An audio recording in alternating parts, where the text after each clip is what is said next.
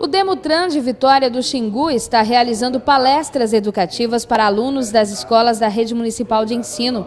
As ações fazem parte da programação da Semana Nacional de Trânsito e têm como objetivo orientar as crianças para o cumprimento das regras e formar cidadãos conscientes em seus deslocamentos diários. Pelo nível, faixa etária, a gente vem, vem comunicando sobre a questão do uso da faixa de pedestre, a questão das calçadas, né, o uso consciente, como caminhar de forma correta pelas cidades, né, e sempre pedindo que o aluno se torne multiplicador das mensagens que a gente passa.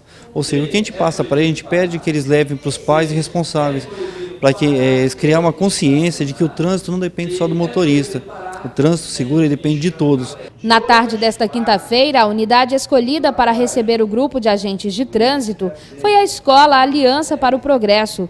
Eles levaram conhecimento por meio de um bate-papo descontraído, ensinando as regras para os adolescentes do nono ano. Para atender todas as escolas municipais, o grupo deve ultrapassar a data estipulada para o encerramento das ações. Além das escolas de zona urbana, também a zona rural. Nós vamos estar realizando as palestras.